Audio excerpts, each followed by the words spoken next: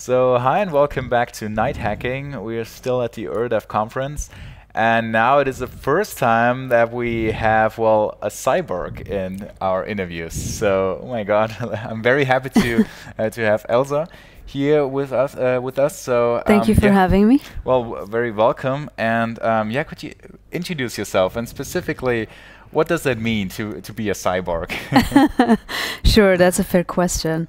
So I'm Elsa and I'm a synthetic biologist by background, then became a VC, so helped invest in, build, and launch mm-hmm. a bunch of really groundbreaking biotech and deep tech startups. Mm-hmm.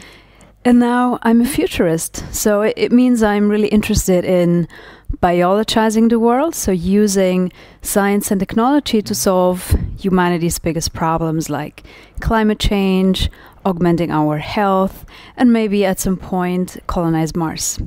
And so a cyborg, um, it's it's just someone that you know visibly or invisibly has in some way augmented themselves with technology, and you know someone who has to have a pacemaker, for instance, mm-hmm. you could call that a cyborg as well, right? Yeah, fair enough. And and so what I hope is that rather than being an early adopters kind of gadget mm-hmm. that lets you do, you know, fun, fun things, I hope it can be really used to, you know, help us overcome some of our most mm-hmm. debilitating mm-hmm. diseases and help us really unleash our full potential, overcome mobility issues, stuff like that. Lives. Yeah, absolutely. So the question, what I think everybody's now interested in, like, what makes you a cyborg? What uh, what um, what did you augment your, your body with? What do you have? Im so I'll let you guess for just a second. lasers or I wish. like that would be a really great use case. You know, like Clark Kent, yep. you can just like open any door. Um, exactly. Unfortunately, unfortunately not. So I I have an NFC enabled chip mm-hmm. in my left hand, which I got implanted at an event you may have heard of uh, called Pioneers Festival, mm-hmm. where kind of future tech meets, you know, this beautiful ancient Hofburg building. Um, so it's a very nice contrast. And there, I, I got this chip implanted to to basically send a tweet mm-hmm. just by hand swipe. And the second function, though, is I triggered a genetic orchestra that I prepared beforehand mm-hmm. uh, with a composer friend of mine, and I had a genetic code of a really interesting organism that I won't wow. bore you with details with. But we converted this genetic code uh-huh. into beautiful orchestral classical music, and wow. so it was Tweet uh-huh. genetic orchestra, uh-huh. Tweet genetic orchestra. And so the fun thing is, you can actually enhance the limited storage capacity of just 88 bytes mm-hmm. by creating a thing called a webhook. Mm-hmm. So it just stores the link externally, and right. then you can do like at least Literally two things. Communicate with yeah. something else, and then yeah. do whatever you like once you're. Uh, exactly. So the hand basically now speaks IoT. Mm-hmm. So it lets me communicate directly with machines, which is interesting. Wow. That that is really amazing. That's, uh, that's, super interesting. And you did the keynote yesterday. I did. Yeah, it was a huge honor. Uh, full room. So uh, yeah. so so what is your impression? Was this your first time at the uh, conference? Or? It is. Yeah. Yeah. It's the first time here. It's the first time. So I've spoken at you know Future Tech and. Mm deep tech conferences.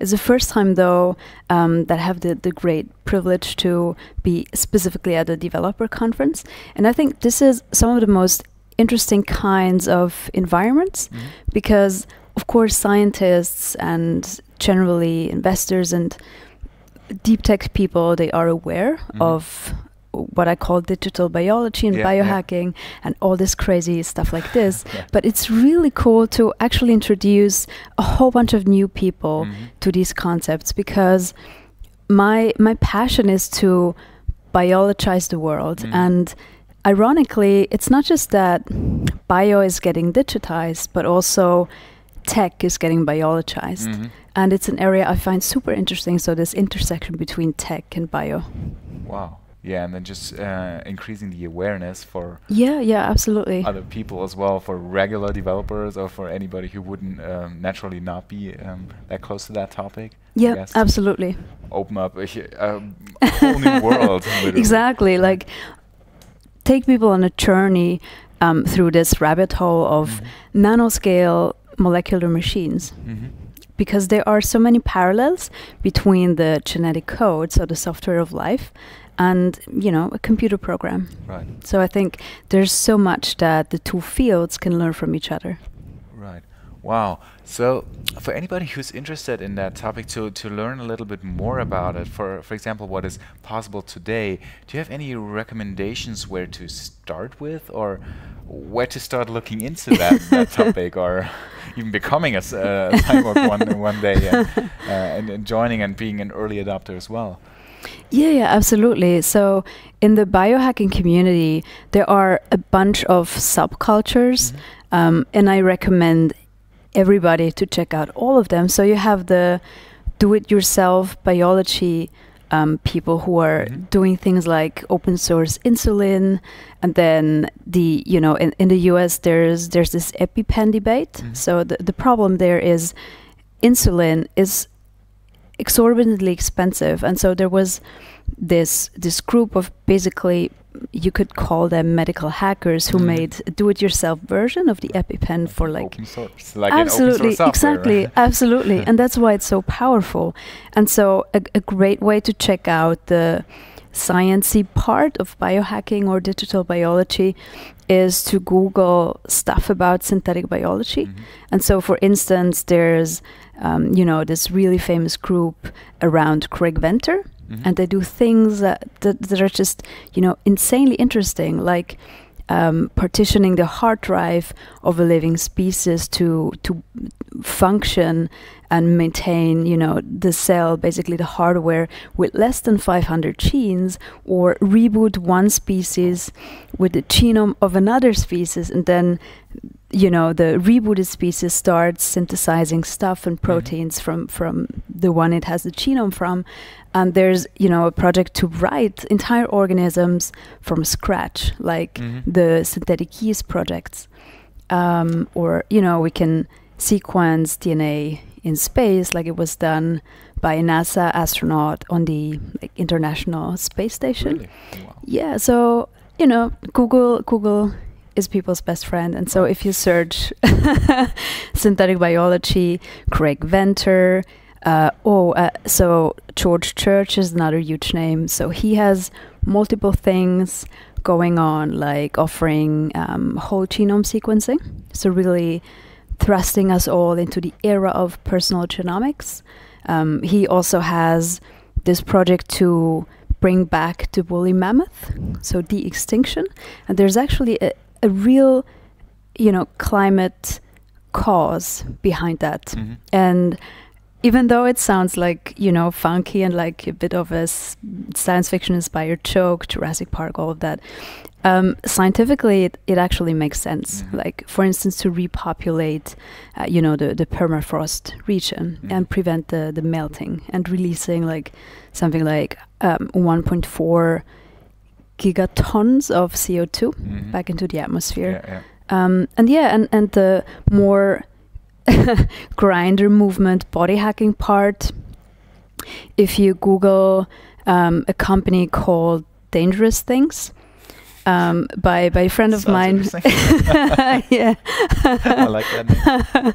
um, by a friend of mine, Amal, mm-hmm. and so he basically makes the chips that most people that I know have now in their hand, and um, y- there are things like um, cyborg happy hours or implant mm. boots and you know um, you you can you can figure out a way to to get a chip implant wow that sounds super interesting a little bit painful so uh-huh. it, I, I think it helps to have a, an actual use case uh-huh. to to put a you know a needle like that in your hand and you know i was just about to ask it, it, does it uh, like how you, could you compare like the pain when inserting that is it like getting a tattoo or yeah it's, it's probably a mix between getting a tattoo that concentrates the whole surface on just one point and getting a piercing, something like that. Yeah. And so the thing is, with the the chips, you don't need, or you, you typically you don't use anesthetics. Mm-hmm. So it just you just do right it. Wow. it's a rite of passage, I think. so just have to do it.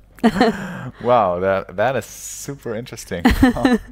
well, yeah, thanks uh, thanks a lot for sharing all these uh, uh, all these ideas and, and thoughts with us. Um, My do pleasure. You have, do you have anything um, else to share, maybe for folks who cannot attend this very conference? Uh, what your uh, impression is, uh, also, or any, well, yeah, other things uh, to to share for folks? Yeah, sure. Um, well, definitely make it here next year because it's, uh, it's an excellent event.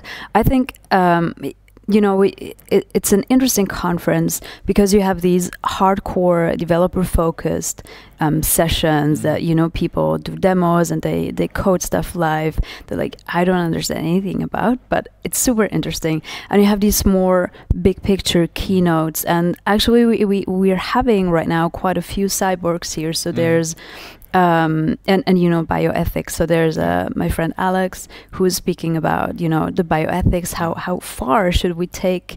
You know yeah. this manipulation of right. humanity, and and you have uh, Moon Ribas, mm-hmm. I think. So she has the um, you know, like an earth sense installed mm. in, in, her elbow, so it vibrates when there's an earthquake. And so you have you all these the earthquakes, yeah. Absolutely, exactly. Mm-hmm. And so you have all these really cool, inspiring people who open you know our technical minds a, a, bit more to the bigger pictures as well, which which is a, a really nice balance. Well, yeah. So if you're interested in, in meeting a cyborg, then you, you should totally totally attend. There's so many of us. yes. Absolutely. Wow, that was very interesting and mind opening. So thanks a lot, Elsa, for taking the time. Thanks so much for having me. It's been a pleasure. Yeah, likewise. And for everybody watching, well, thanks for watching. Bye.